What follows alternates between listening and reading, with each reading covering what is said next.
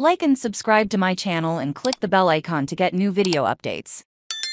Caitlin Clark flaunts her figure after absurdly long meet and greet queues. Caitlin Clark is a superstar, especially in the state of Iowa. The unanimous Women's College Basketball Player of the Year who led the Hawkeyes to the national championship in 2022-23 is to one every time she steps on the court. It has become a player to watch. However, it was her run at March Madness that made her a household name. Although Clark has been gaining national recognition in recent months, she is best known in her home state. Iowa has no teams in the MLB, NBA, NFL, WNBA, or NHL, so the Hawkeyes are the pro team. Clark's name in Iowa is pretty much the same as LeBron James everywhere else. Caitlin Clark's meeting and greeting was amazing. The team also gave out Clark bobbleheads. The meet and greet portion of the evening was supposed to last 90 minutes. Clark then wanted to throw the pitch and watch the game from the stands. That ultimately didn't he happen. Also the meet and greet lasted much longer than one and a half hours. At 6 a.m., fans began queuing for the event, scheduled to take place 11 hours later. To call the queue long would be a gross understatement. It revolved around the entire ballpark.